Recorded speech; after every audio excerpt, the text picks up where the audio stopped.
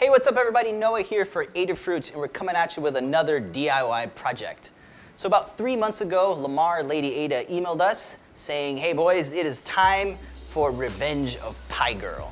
So in this project, we're building a handheld gaming console. This time it's got 12 buttons, an analog joystick, stereo speakers, and a large 5-inch HDMI display. We're using, of course, the Raspberry Pi A Plus and RetroPie, so it's got full-blown EmulationStation. We call it Super Game Pi. So this is much bigger than our original DIY Game Boy. It's just got more games, bigger screen, sound, and of course all the buttons. So to make your own Super Game Pi, you're gonna have to 3D print the enclosure, hack an SNES controller, and solder electronics.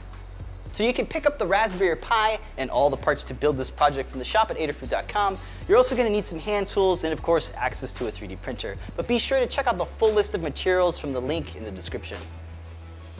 All right, so the parts were designed specifically to print on most FDM desktop 3D printers, and it's available to download and modify if you want to tweak them. Now these parts are rather large, so you're to need a printer with a big enough build volume. Here we're using the Lulzbot Taz 4, which can crank out these parts no problem. We do, of course, recommend using PLA material over something like ABS, just to minimize on the warping. And of course, these parts can be printed without any support material. Now, if you don't have access to a 3D printer, no problem. Check out 3D Hubs or MakeXYZ.com for a directory of local 3D printer operators. You basically just send your parts to a local maker who has a 3D printer and they'll print it out for you for some monies.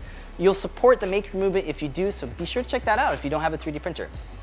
So to give a smooth finish to these parts, we're using some stuff from Smooth-On called XTC 3D Coating.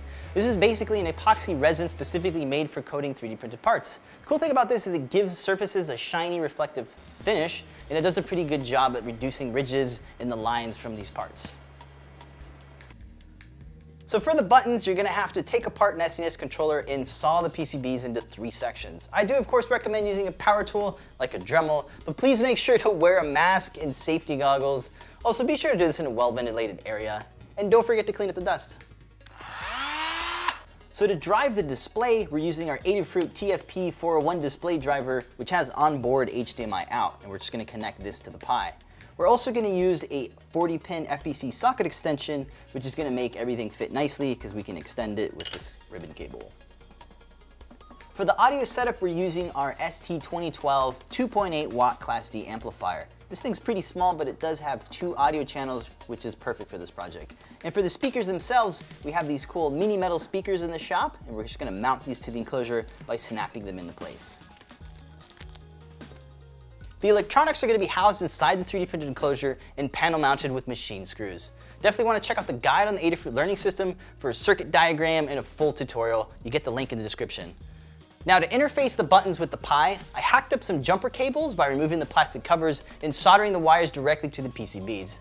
Now the connect, these cool little connectors allow me to detach them easily from the GPIO header, especially when you're first building this project, it helps a lot.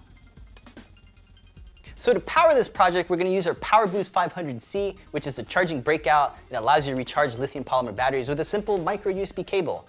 So we're using a rather large 6600 milliamp lithium polymer battery to power this project, which is gonna give us just about six hours of game time. So the wiring and the assembly of the whole circuit isn't too challenging, especially when you have a circuit diagram and a GPIO cheat sheet. We got all the steps to build this project. They're documented in our learning guide, so you can follow along and you can make this project. Okay, so next up we'll download and burn the RetroPie image to a micro SD card. You're gonna have to get your Pi hooked up to your Wi-Fi network. You can do this with a USB Wi-Fi adapter, and then we're gonna get the Adafruit Retro Game repo on GitHub. We'll then SSH into the Raspberry Pi and modify the retrogame.c file. Here we can map the buttons that are wired to the GPIO header to act like keyboard characters. But be sure to check out the guide on the Adafruit Learning System to get a full rundown on this section. So with everything assembled, built and tested, we now have a 3D printed DIY Game Pi. So guys, we want to know what you think about this build. You can let us know in the comments below. If you have any suggestions or questions, you can drop us a line in the comments. Thank you guys so much for watching, and if you like this project, please let us know and share it with your friends and inner circles. And if you haven't already, please be sure to subscribe for more 3D printed projects. We do this thing every week, but until then, there you guys have it. I'll see you guys next week. Remember to make, share, repeat. Bye, everybody. I'm gonna go play this thing.